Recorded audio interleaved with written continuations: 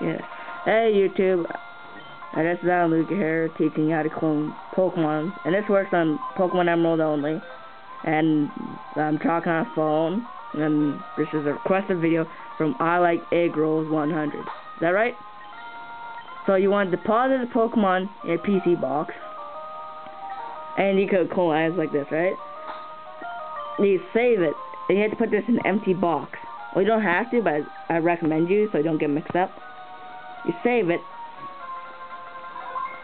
like this, and you turn it on. You put this in your uh, what's it? Uh, your party. That's right. And you go to the last thing, the closest thing to the to the PC box. Yeah, Battle Tower. Then you go to multi-link battle rooms. They challenge it. They go to open level. This works on any Pokemon except for the big legendaries like Rayquaza, Kyogre, Groudon, Lugia, Mewtwo. I think it doesn't work on Mewtwo, but you are the big one. You can try on Mewtwo, but I don't know.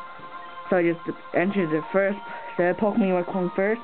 It's another Pokemon. Then okay. Okay, you save it. And right here, you turn it off. Then turn it back on. And then, when you turn it back on, you should go to the party, on uh, PC.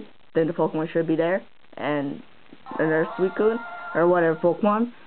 Um, uh, what you call it? Uh, should be in their party and one should be in your